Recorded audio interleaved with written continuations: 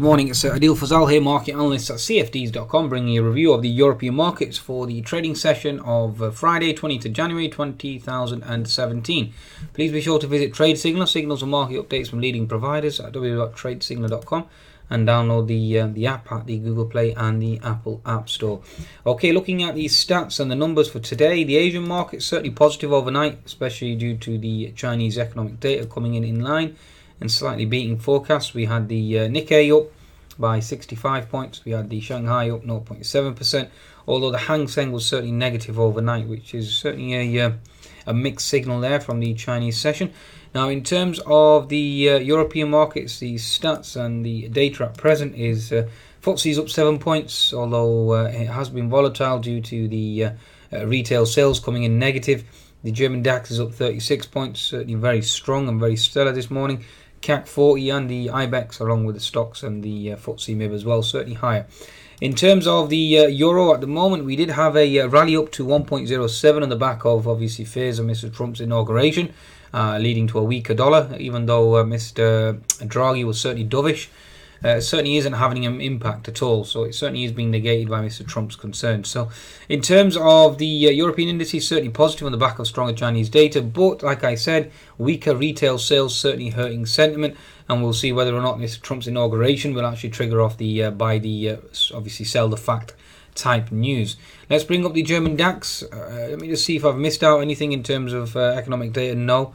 Okay, German in, uh, inflation data certainly coming in line. Okay, in terms of the rest of the day, we have FOMC, Mr. Harker, President uh, Trump. I call him President Trump, not Trump. A Trump. Okay, given his uh, his, his his insightful, um, misogynist, sexist, racist I mean, xenophobic. I mean, this guy is, is probably the biggest big, big bigot I think in, in the 20th century. I mean, really, he's a modern day Hitler, really, isn't he? I mean, it's uh, he's going to divide America and destroy America. From my perspective, it's make America uh, worse again. That's probably his uh, rhetoric.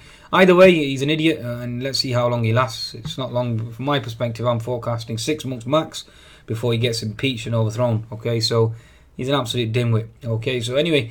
Um, going back to the uh, the actual German DAX here, let's just look at the market daily chart. Uh, present on the German DAX certainly is uh, bearish. Uh, horizontal resistance here, okay, certainly holding on the German DAX. 60 minute chart, uh, you have gap fill resistance certainly holding from my perspective, that certainly will hold and you will look for a potential flush lower. 10 minute chart, at the moment we've obviously retraced up to that fib 75%.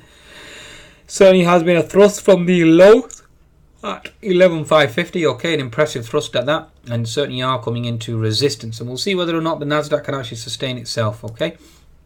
In terms of the French CAC, let's bring up the French CAC here, folks. We are now into resistance on the French CAC on the uh, horizontal resistance zone on the 10 minute chart. Okay, so let's just see exactly how the markets unfold there. Certainly have held support, so we're oscillating between the two resistance zone at 4870 down to uh, 4820. Okay. Looking at the 60 minute chart at the moment, really is mixed. Okay, certainly is mixed here. You certainly have resistance and support. So you have this level here and this level here. So these are levels that we are going to observe and keep an eye out for. Okay, uh, in terms of the FTSE 100 weekly chart certainly bearish engulfing, so it's not exactly a bullish sign. Daily chart we already know it's broken the uh, bullish wedge, looking to potentially go lower and close the gap at 7120. That's the ultimate aim. 60 minute chart we are breaking out of this falling contracting wedge pattern, but uh, given the weaker retail sales, one would expect the gap to close below. So certainly looking for that 200 MA to be hit at 7160 on the FTSE 100. The 10 minute chart certainly is showing bullishness, certainly has held at 7196 support and certainly is thrusting higher. But I'm still expecting a flush lower on the back of weaker retail sales and the US markets topping out given Mr. Trump's uh, uh, inauguration. Okay, right. Okay, so that certainly seems to be a summation of uh, the uh, equity market. Again, it's Mr. Trump's inauguration. Well, basically, Lady in the Trump's organization uh, inauguration. Let's see how it unfolds. Okay, uh, he probably will uh, end up saying something that will humiliate him and his party as well. So really is a dimwit. Either way. Um, we are looking at weakness from my perspective, and we shall see whether or not the European markets can top out, led by the German DAX. On that note, please be sure to visit cfds.com for your trading needs and certainly download the latest Trade Signal app. Goodbye.